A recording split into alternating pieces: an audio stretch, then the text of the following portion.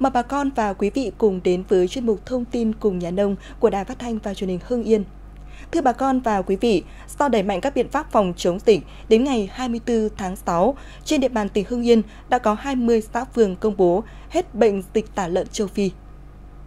Đó là các xã phường An Tảo, thành phố Hưng Yên, Quang Vinh, Bắc Sơn, Xuân Trúc, huyện Ân Thi, Giai Phạm, Nghĩa Hiệp, huyện Yên Mỹ, Phùng Trí Kiên, Xuân Dục, Ngọc Lâm, Bạch Sam, Bần Yên Nhân, Cẩm Xá, Nhân Hòa, Hưng Long, Dị Sử, thị xã Mỹ Hào, Đức Hợp, Toàn Thắng, Vĩnh Xá, huyện Kim Động.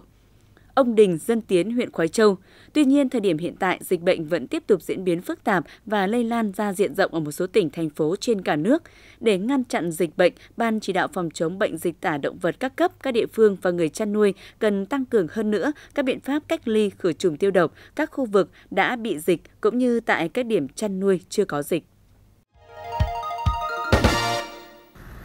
Tận dụng tiềm năng sẵn có là các diện tích mặt nước ao hồ đầm nhiều địa phương trên địa bàn tỉnh đã tăng cường nuôi thả các loại thủy sản, đưa tổng diện tích nuôi thả thủy sản toàn tỉnh đạt gần 5.700 ha, trong đó diện tích nuôi thâm canh trên 1.800 ha, còn lại là bán thâm canh và quảng canh tập trung nhiều tại các huyện thành phố Ân Thi, phủ Cử, Khoái Châu và thành phố Hưng Yên. Các loại cá nuôi là chấm, chép, lai kết hợp với nuôi thả cá sông trong ao và nuôi cá lồng trên sông. Một năm thu hoạch làm hai đợt, năng suất đạt 7 tấn trên một hecta.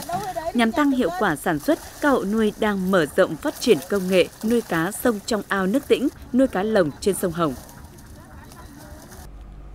nhằm tăng năng suất và chất lượng trên cùng diện tích. Vụ mùa năm 2019, toàn tỉnh phấn đấu gieo cấy lúa chất lượng cao, chiếm 70% diện tích. Vụ mùa năm 2019, toàn tỉnh gieo cấy trên 31.000 hecta lúa, trong đó gieo cấy lúa mùa sớm chiếm 10 đến 15% diện tích, lúa mùa trung chiếm 85 đến 90% diện tích gieo cấy. Để đạt năng suất chất lượng, diện tích lúa chất lượng cao vụ mùa chiếm 70%, ngành chức năng khuyến cáo các địa phương không gieo cấy giống Bắc Thơm số 7 thay thế bằng giống lúa nếp thơm Hưng Yên, Sơn Lâm 1, Đài Thơm 8, TBR 279 hiện các địa phương đang tập trung làm đất với phương châm gặt đến đâu làm đất ngay đến đó, bố trí máy công suất lớn làm đất cho cánh đồng lớn, những khu ruộng trũng, máy nhỏ làm đất tại những khu ruộng nhỏ, khu sen kẹt. Thưa quý vị và bà con, cây mạ khỏe không nhiễm các loại sâu bệnh là một trong những yếu tố quan trọng để khi gieo cấy giúp cây lúa sinh trưởng và phát triển tốt, tạo tiền đề cho năng suất cao và đặc biệt là giảm chi phí thuốc bảo vệ thực vật. Để giúp bà con có thêm kinh nghiệm, chuyên mục thông tin cùng nhà nông tuần này, chúng tôi xin truyền tới bà con hướng dẫn phun tiễn chân mạ trước khi gieo cấy. Đây là một biện pháp phòng trừ hiệu quả các loại sâu bệnh gây hại trên lúa. Vụ lúa nào cũng vậy, ngoài thực hiện đúng kỹ thuật ngâm ủ và gieo mạ, trước khi gieo cấy, gia đình bà Nguyễn Thị Oanh, xã Vân Du, huyện Ân Thi đều chủ động các biện pháp chăm sóc, đặc biệt là trước khi cấy, mạ của gia đình sẽ được phun tiễn chân mạ. Trước khi cấy thì thường xuyên là chúng tôi hay phun à, thuốc trừ sâu cộng với cả phun cái chết thì nó à, đắt tiền một tí nhưng mà nó kéo dài được thời gian mà nó đảm bảo sạch hơn. Tôi thấy à, việc mà phun thuốc ừ, sâu cho mạ là rất tốt. Một xào mạ thì chỉ hết có một bình thôi, ra cấy được à, hơn một mẫu. Nếu như mà phun ở trên à, ruộng lúa cấy đây này, tầm 10 bình. Nhờ thực hiện các biện pháp trên nên vụ nào lúa của các hộ trên cũng đều sinh trưởng phát triển tốt, Mục đích của biện pháp phun tiễn chân mạ nhằm phòng trừ các đối tượng sâu bệnh gây hại trên lúa và đặc biệt là tiết kiệm được nhiều công phun và kinh phí sau khi gieo cấy. Phương pháp mà phun tiễn chân cho mạ là cái cách mà bà con chúng ta vẫn thường phun để chủ động phòng uh, chống các cái đối tượng sâu bệnh hại, đặc biệt là đối tượng mà côn trùng chích hút như là uh,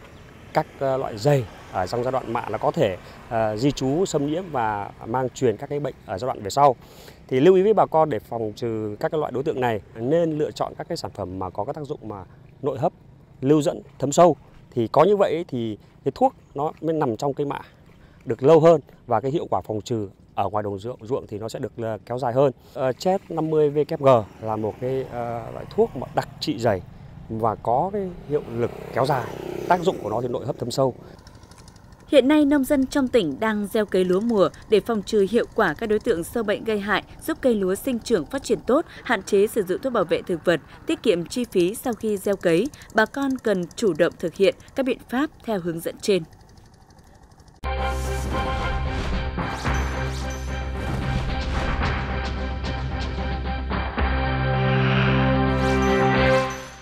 Bà con và quý vị vừa theo dõi chuyên mục thông tin cùng nhà nông của Đài Phát thanh và Truyền hình Hưng Yên. Cảm ơn bà con và quý vị đã dành thời gian theo dõi.